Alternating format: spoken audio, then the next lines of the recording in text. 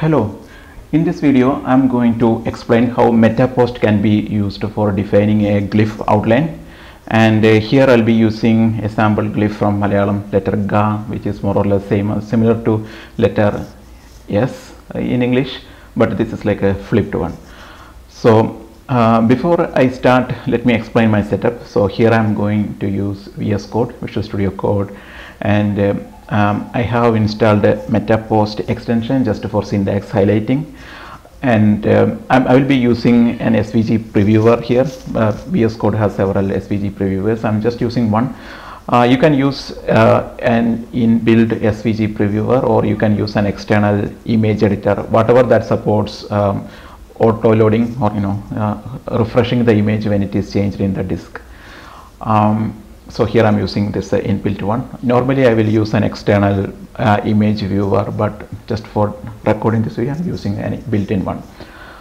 So that's what you are seeing here and uh, I also have this uh, make auto build that is the uh, auto build feature that I wrote in using make. So when I do make auto build it will just um, listen for file changes and if some files are changed it will again call a make command and make will take care of compiling only the changed files. All right so let's start with the letter ga so uh, th this is the boilerplate code uh, we need to start. So the first line here it is input glyph. Uh, glyph is a set of macros that we define for all the uh, variables and uh, several macros that we, need to use for drawing this uh, glyph. So I will come to uh, each and every macro whenever I am defining one but for now it's just a kind of a header file that's already defined alright. So let's go back to the letter GA. So we included that one. This is something like in C, it's like a hash include or in JavaScript like import that kind of statement. So we just imported and uh, here I have begin glyph and end glyph. So don't confuse that this is built-in in MetaPost. This is a set of macros that I wrote and uh, if you go to again glyph.mp and if you search for begin glyph this is something that I wrote so it's just a, a scope definition for the variables and clearing all the uh, resets like uh, coordinates and setting up default options for uh, pens and uh, saving defining some predefined uh, arrays like paths and then there is another one end glyph. End glyph is the is the most important one because it takes every path I defined. And you can see that uh, let me close all other things okay this I need. Okay. All right. So here um, when I this is the last line of the um, glyph definition. So whatever I define between these two things end glyph will pick up and will run through uh, its paths and it will actually do the rendering. So uh, that is the most important part. And uh, depending on the configuration it will show this kind of grids uh, and outlines. But you will uh, know about this more when I actually go through a glyph definition. So let's start. Um, so this letter need to start somewhere, right? And MetaPost has this convention called uh, variable. So when I say set zero, um, uh, it's a pair. So when I say set zero, it's like let's say zero zero. So that this is uh, a point in Cartesian coordinates. Um, you can say its origin. So let's say zero zero um, and uh, let's start set 1 as uh, some value like um, so uh, let's say um, x0 x0 means whatever we have defined as the set 0 and its x coordinate plus uh, some value and here in this uh, whole definition I will be using relative values no absolute values. So I'm going to use uh, something like so every letter is defined as in terms of like constants like m. Uh, yes m is the whole height of a Malayalam letter. Here I am going to use say m by 2 and uh, let's say y0 also I'm going to use m by 2 okay so I define this one. I will come back to this point again just to explain what what I'm doing here so and when need to define paths and this is the zeroth path because it's only one and then let's define z0 go to z1 and this one and I'm saving it. So I just saved and the auto build picked up this line and you can see what happened. So I defined an origin point so that is here and then I defined a distance that is x0 plus m by 2 y0 plus m by 2 so what is m? M is this height from this to this one. So that is the height of a Malayalam letter. I can also use um, variables like s which is the height of a small letter s uh, and even I can use um, x that is the uh, height of a capital X. Just some convenient variables that I had defined previously okay? So here you get z0 to z1 a, sim a simple line let us uh, define another uh, point. That is set 0 set 1 this is set 2 and uh, let's say x1 plus okay. Let's not change x1 let's keep the x value same. And uh, let's zero y0 is let's not change y0 and let's go back to this original value. So that's like it should go down to the point where uh, where x1 is there and uh, y0 is 0 so it should go to y0 and let's say um, set 2 here you go. So you see that line goes here. Okay so all is well. So normally we will need uh, not just horizontal lines we will need curves. So uh, for curves we need to use the syntax double dots. So if I use double dots it becomes a curve that goes through z0 z1 z2 points so just to repeat z, z variables are the pairs like the coordinates and uh, x values are x coordinates y are y coordinates and the suffixes 0 1 2 these are all self understood like it's the zeroth value first value. And so that's it. So you get a value like this. But let's go back into defining this actual letter ga uh, like I said you can see it's uh, something like this. So it need to from come from the top and then go towards left then go bottom then up then bottom. So it's like a wave a wave. So um, here um, let us define again. Set, so you can see that it should be at the top. So let's say that is the top value. And then it need to go for uh, let's say x0 and then y0 value it should go till the middle and then it should go to y uh, yeah 0 value. Uh, so something like this. So this is a straight line actually because uh, the x values are remaining same. Actually I need a uh, the middle point here it should go towards like this like an opening parenthesis. So I can say let's say let us define m by 4 something like that. So it goes towards left but you will quickly see that it goes outside the boundary. So actually this point should be at the 0 because that is the extreme leftmost point. So let's define this as 0 and then use that value x1 plus uh, m divided by 4 as the value and this as again the value of uh, x0 so it's in the bounds. You can see that it goes to the bounds because it is 0 all right. So we define the first part then here it should curve here and it should go up. So let's define more points. So that would be set 3 and set 3 would be set um, 2 plus m by 4 and then the height would be here we have one uh, till this height. So we can just use the value of y1 and let's say set 3 uh, all right so there is some compilation error you see because I didn't define I, I didn't put the semicolon there so it goes there. All right uh, okay. So here we came and it, it uh, went to m by 4 m by 4 is not enough I think it says we need to go till m by 2 okay. We'll go there. And then let's define set 4 set 4 is set 3 plus again m by plus m by 2 and then by 0 uh, then let's just define set 4 so that goes up.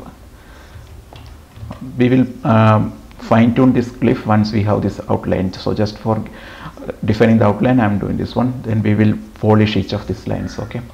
Uh, set 4 is then set 5 is set 4 plus m by 2 by 1 set 6 equal to set 5 okay. Uh, again. Y0 all right. So what we did uh, we are uh, progressing these points uh, from uh, set 4 every, everything uh, increases by n by, by n factor of m by 2 that is width by 2 and then it goes to set 6 so here you can see some uh, angle here and it goes to this loop. Uh, actually this point is uh, y0 okay so set 4 is uh, this is second point this is the third four third this one and here it should be 0 so here it should go. All right so we defined C, uh, 0 1 2 3 4 5 6 6 points. So we just need only 6 points to define this letter but here the shapes are completely gone. So let's uh, make this um, fine-tuned a bit. Here I'm seeing that this goes here and then it goes to the left. Uh, so on the uh, at the line of 4 actually it should go towards this right right? So I'm going to define set 4 as the it should go towards right all right. So it goes set 4 you can see that it changed. It goes from here set 4 goes to right. And uh, let's go for uh, a little bit more value something like okay. So think there is some problem here. The sixth point that became like this. All right let's come back to here later. Um, 3 4 and then 5 became here. Okay I did a big mistake here. It should this these are all x values. Okay here we go. All right so it should be a wave so it should not go here it should come here. So I'm going to define something like this. So so we already got the whole outline. All right so we uh, even though I did a mistake we saw how to debug it. So uh, please keep in mind that the specific uh, the special meaning of set values and I defined set as uh, this right uh, right is like a, an alias for direction 0 so you can also give direction 0 like the exit angle of that point. I can also say uh, like minus 10 degree so you can see that there is a tilt or minus 30 so you can see it's all changing the direction. So this is how you control the uh, direction of this arrow. So we got the letter ga almost almost there. Now um, this is just the stroke of this glyph but we need outline and it should vary uh, its thickness so if you want to use this as this as a glyph in a font this just uh, this line is not enough. You need to define an outline with the stroke beads uh, I mean this is just a line. So stroke outline would be like covering this whole thing and this would be like the spine of that uh, lettering so let's define that one and for that we need to use a macro called a pen stroke pen stroke macro. And uh, that should that will take a few arguments. Uh, the first argument will be like paths 0 and the output will be in a variable called stock 0 so this is this is the variable we are passing to receive the outline. All right. So th this is what I meant the outline. So this is the middle of the one that controls the um, direction of the outline but what you see in the blue color that's the exact thing what we need. So we got an uh, outline actually and it has no modulation thickness is same everywhere and the uh, edges are actually rounded. Uh, so we need to control the uh, cut angle how to how much we need to cut the terminals and we also need to control uh, the width of this uh, points how much we need to give the thickness of, at each point. So that's the that's called the stroke modulation. And we are going to do that one. And so for this one this pen stroke also takes options. Like you can pass nibs. Uh, like uh, which uh, pen nib you can you need to use at each each points. So let's use a nib. This is the nib option. And uh, let us use terminal nib. Terminal nib. So that's the terminal nib. And let's say it need to be rotated. Uh, we need to say angle of rotation. And let's say it's just a 30 degree rotated at uh, point um, 0 right? Okay. So point 0 is this one. And I said 30 degree rotation for this one and it just uh, used a nib uh, a terminal nib and rotated at 30 degree. But we need that node at like let's say 0 so we got at 0 angle nib. All right? So we will come back to this uh, nib correction again. But you see that you can define the angle of that nib here rotated 0 you can define any nib like like 60 so it becomes like this or you can even like 120 so this becomes like this. Or 150 so like this. So for now let's see. Keep it as 0 all right. So that is the nib angle for 0 and that so that is the one terminal. And we need to define it for the the last terminal also. Last terminal it's the sixth point. You can use 6 uh, as the number here. Or you can also use infinity. It's a special value. It just uh, takes the maximum value and it will take care of finding what is the last point of this path. So i'm using 0 uh, uh, sorry the infinity value here. And you again see that this glyph this this nib is like uh, with that terminal nib rotated at 0 because it is 0 the nib it's kind of sharp. Let's just give 90 so that we get some definition. Okay we got it. 90 there.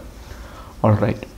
Now let's come back and uh, how to make this um, in this font we need all these vertical paths as thin. So we need thin here here also we need thin and thin. So point at point one three five we need thin nibs.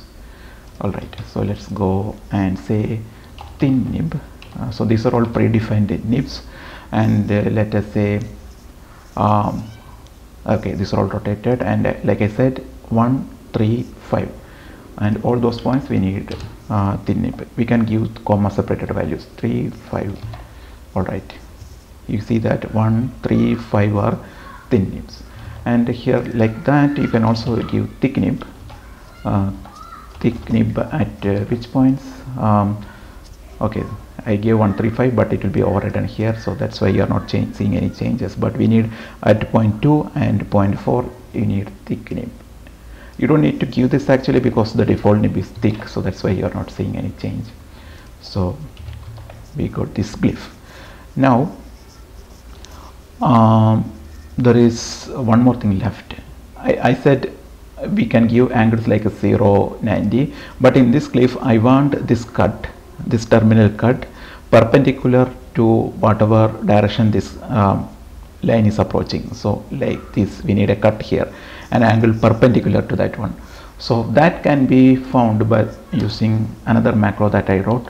So that is the terminal angle uh, at the point 0 of uh, path 0 so you see that uh, now I got an angle um, I mean I can also calculate this angle manually but here I am automatically calculating uh, based on uh, I will first calculate this angle then I will add degree 90 uh, so that will become an angle perpendicular to this tangent. So I get a sharp cut just perpendicular to this line.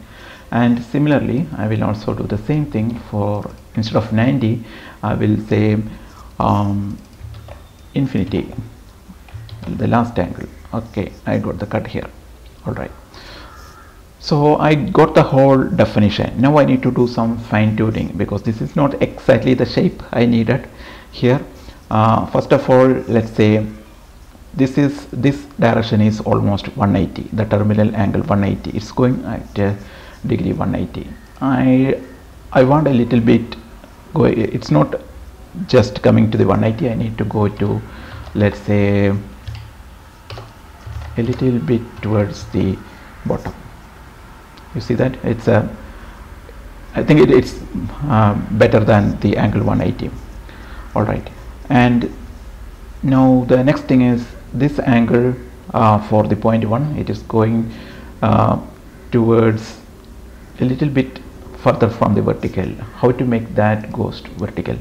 Let's say I can say down. So it will go just down downwards. And this angle I wanted it to go um, horizontal. So this is right uh, right now it's going with the, a little bit angle at towards the bottom. I want it to go towards straight. And if some I will say approach Z2 at an angle towards the right or angle 0 and it will also it should also exit at angle towards right. All right so it's going right and then at point 4 I want um, this point it's now horizontal that is up, approaching at 0 and uh, exiting at 0 so that's not I wanted. I want to go a little bit towards the bottom like Z4 approach angle should be uh, slightly towards the bottom just to follow this uh, direction. So it's right towards right because I gave this one. So I'm going if I remove this one it, this is the um, curve fitting angle but I can control this. So I want it to go to a little bit angle towards the bottom. So like this um, all right. So how i'm defining all these angles it's just from my personal experience like how the direction should be gone. Uh, so that's it. So there is no magic here but uh, you will see that once i am finished with the letter. And this angle it's vertical. The, at the point 5 it's vertical but i want it to go towards um, it's uh, going vertical but it should go for where it is leading right? So let's say uh, it's uh, should be direction 100 right. So when I say 100 uh, it's actual angle 260 uh, because you know 270 is the bottom uh, the angle that's going to the bottom in the quadrant for quadrant. And uh, that is also you can express that using minus 90 so I'm just uh, increasing that to minus 100 so this is these are the angles I want. Now um, now this doesn't look good the exact shape right uh, because I also wanted to correct all these metrics. I wanted to a little bit more compact. Um, so first I'm going to define everywhere I used a m by 2 this is like a half of the whole glyph going towards um, the right side. So you can see m by 2 m by 2 m by 2 so like i said m is the m is this value from this one to the one the height of this letter. So i will use every value as the ratio of the height okay? So here at the point 5 here it should not go this much i think. It should just go for let's say m by 3 all right. Okay. Looks better right? That angle. Um, all right. Then this angle like uh, minus angle. So even though okay I need to explain this one because I defined z0 as x1 plus m by 4 but if you think that x1 is not defined at this point z1 is not defined at this point right? So why x1 is how x1 is resolved? So metapost follows a strong mathematical foundations. So all these are like mathematical equations. And all these these six equations will be solved simultaneously to resolve all the values. So z0 x1 the value of x1 will be calculated at at the time of drawing it. So that means uh, even though I defined z, z1 after z0 x1 will be resolved when it is executed. All right? So so that's what that's how it is working. And uh, I don't want this much value here. I need to reduce a little bit less let's say m by 6 okay all right. Now this is vertical. I don't th this this point goes almost vertical right? Yeah it should not be that case. It should go um, okay the first value this is because x0 this is same as this value that's why. X1 plus um, let's say m by 4 okay m by 4 then um, the point 3 should not be far away because this should be a narrow and this should be the sweeping uh, curve that should be the size. So it should be um, again m by 4 all right see? I'm, all, I'm almost there. All right. Okay. Now uh, I also wanted to do a little bit more correction uh, to this uh, to the whole weight. Uh, this point 0 1 2 it is at the bottom at the point number point number 2 I want a, this a little bit up and how much I need to go. So this point touches here. I want the bottom of uh, the outline touches on the baseline. All right. So that value is uh, so 0 means it will touch here. I want it a little bit up and uh, how much that is the uh, the half of this thickness. So thick is already defined based on different values. I uh, defined in the macro because that's the pen uh, width. So I'm going thick by 2 alright see?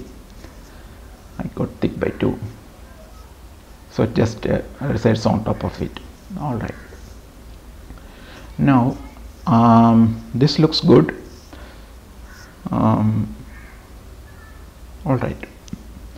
Okay. So let's I'm almost done with the glyph but I want to show you a little uh, more features of uh, this programming language so I'm going to um, say swap this thick nib and the thin nib just to show you how you can achieve the contrast.